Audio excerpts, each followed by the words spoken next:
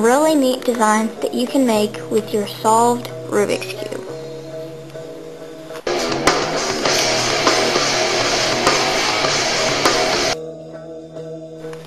Here's a design when all the sides make the cube checkerboarded.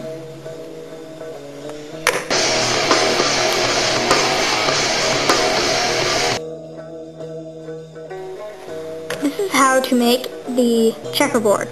What you want to do is take each left and right side and flip it twice. It doesn't matter which direction that you do this in and it should look like this on one part.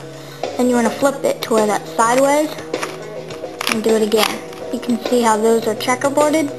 Do the same for these four that are left. Now you have the checkerboard. To go back, it's practically the same thing except when you're doing the checkerboard to get it there or back, you can do it from any spot in any direction. Just pretty neat. And go back. Or it locks up really bad.